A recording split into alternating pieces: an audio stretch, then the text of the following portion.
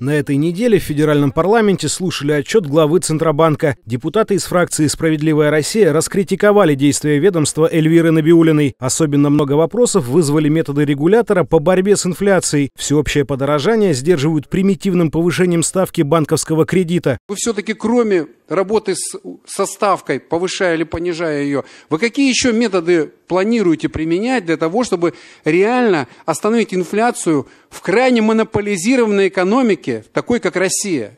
Как считают депутаты, подорожание кредита не только не оздоравливает экономику, но и убивает мелкий и средний бизнес, лишает предпринимателей и граждан доступа к денежным ресурсам и в конце концов укрепляет монопольное положение компаний-гигантов. Но в ЦБ от претензий открестились. Развивать конкуренцию, видимо, не их дело. Да, у нас не везде, э, мягко так скажем, эм, э, достаточный уровень конкуренции. Там, где есть конкуренция, мы видим сразу эффекты возникают.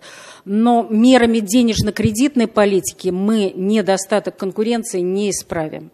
Несмотря на критику, отчет главы ЦБ получился бодрым. Эльвира Набиулина заявила, что российская экономика уже оправилась от кризиса, связанного с пандемией. Показатели вытянул финансовый сектор. Банкиры, страховщики и биржевые спекулянты стали богаче на 8 триллионов рублей. При этом 7 триллионов они получили из бюджета страны. Теперь давайте посмотрим, граждане, как заработали у нас что-то в прошлом году. Да нет, доходы граждан упали. Экономика у нас как? Тоже, наверное, вверх поперла? Да нет.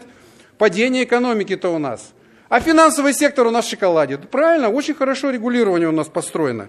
Наша фракция не будет голосовать за утверждение отчета ЦБ. Как отметил депутат Госдумы Валерий Гартунг, вытаскивать российскую экономику из кризиса нужно совместными усилиями. Центробанк и правительство должны бороться с утечкой ресурсов и капиталов за границу, а также развивать конкуренцию внутри страны. Но пока правительство своими решениями только разгоняет инфляцию, а ЦБ только создает видимость борьбы с ней. Иван Абросимов, 31 канал.